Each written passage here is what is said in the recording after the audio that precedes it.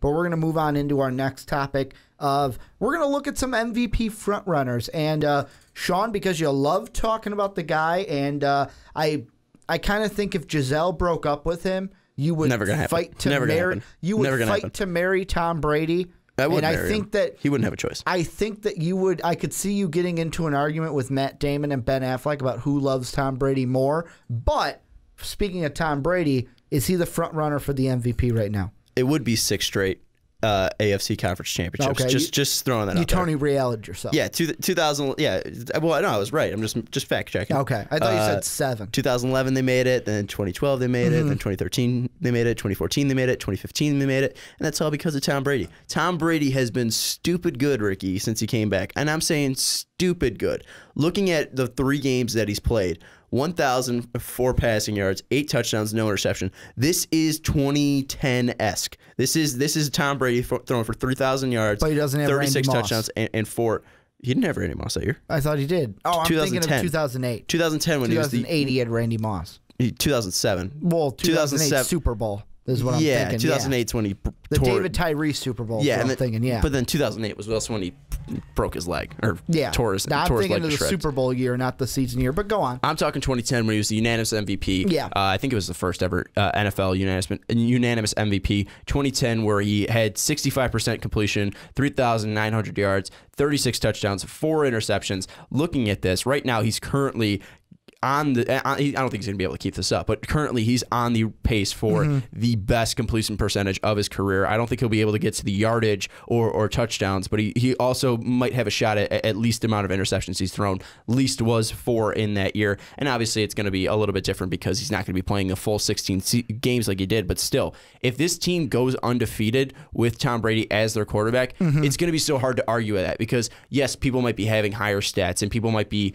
be uh, showing that you know people you know people like Matt Ryan might be having historic careers or Ezekiel Elliott might be having historic seasons, but Tom Brady will still be the most valuable player to his team because he took them from a team that was like, oh well, can they beat this team with Jimmy Garoppolo and throwing this in? And you obviously see this vast improvement uh, when when Tom Brady steps in. Tom Brady has been stupid good, and if he keeps on this pace, it's gonna be so hard not to give him give him what he's give him what he's done. Well, and this is something that I think we all could have predicted. I know I I didn't expect him to be this good, but I did think that Tom Brady was Did you gonna, not expect him to be this good? No, I did. I, I expected him Come to on. come play pissed off after being suspended for four even games. being pissed off. He's just this damn good. but he it looks like he's stepping it up just a little No. bit. This is the thing about Tom Brady, and this is the thing I've been trying to tell you, even when you brought up this ridiculous thing where mm-hmm. Jimmy Garoppolo should be the starting quarterback of the Patriots in 2018.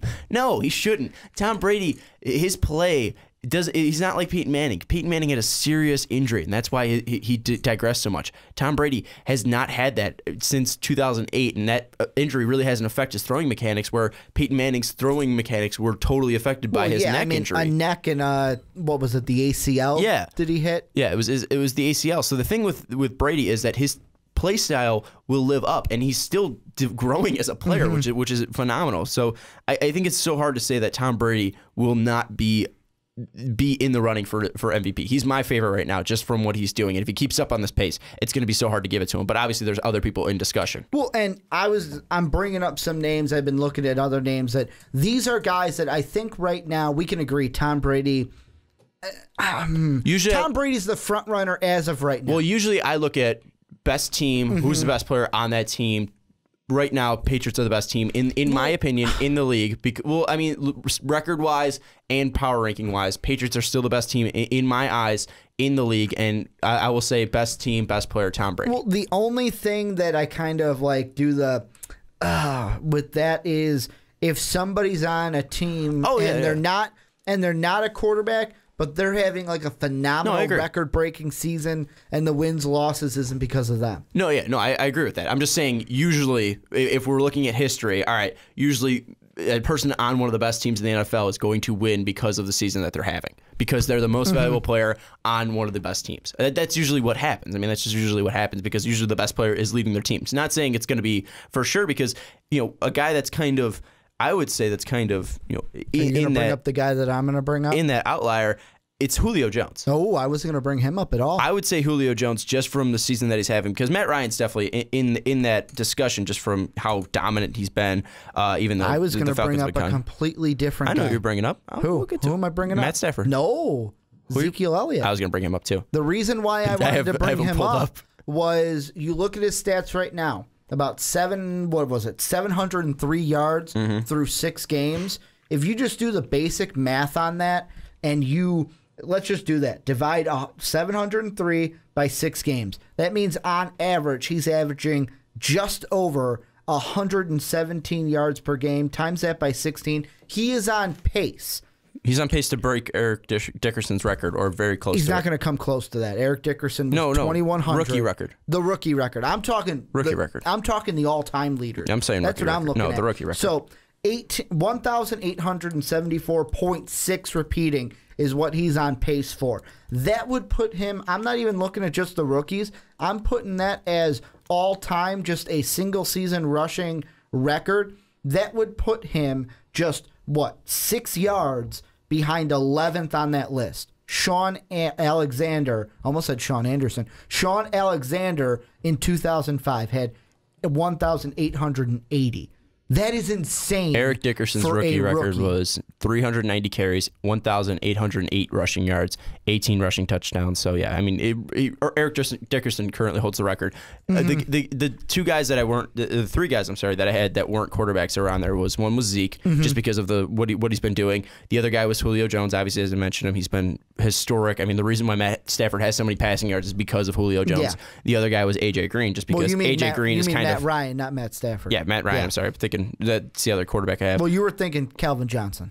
Yeah, he's well, not. He's not in the league anymore. And then I had Julio Jones and AJ Green just because mm-hmm. both of them have been so dominant and so important to their team. See, but here's the thing with AJ Green and, and, like AJ Green and Julio Jones, like I feel like they're at the biggest disadvantage because I feel like the front runners based on what position they play, Stafford, Ryan, and Brady, just because the quarterback position and what it means I would to say Zeke over NFL. Ryan. I would say Zeke over Ryan. So I would say Brady, Stafford, Zeke. Well, the thing that Zeke does is he's that second where running back can be so important.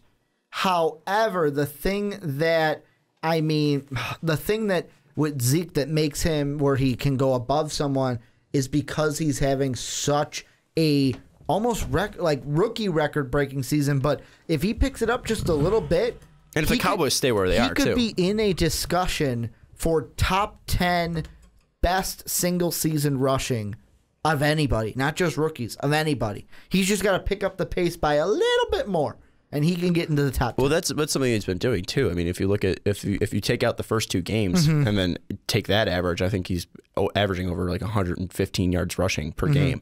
Because he had a bad game against the Giants to start off his career, 20 carries for 51 yards. But then other than that, I think most of those games have still been impressive. I think his lowest out of those games was 83 yards in the second in the second week. So Zeke Zeke is Zeke is up there just because of what he's doing historically. So I would say Brady, Stafford, Zeke for me because Stafford's having one of the, his best seasons. That's without Calvin, Calvin Johnson. He's leading his team to victories. Mm-hmm. So a team like the Lions that were you know pegged by most people at eight and eight, nine and seven.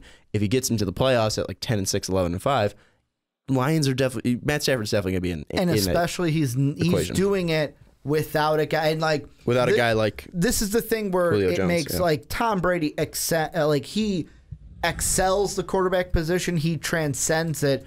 But the thing that I'm going to say Brady and Stafford have in common is yes, Brady has a Gronk or Brady has an Edelman, but let's be honest, neither of these guys have that one wide receiver where it's like he's the best wide receiver in the league. That's who he's got to go to. Like when Brady had a Randy Moss. I know that Gronk is the guy he can lean on, and basically Gronk could be that guy. So then you could say Stafford's the true guy who doesn't have that.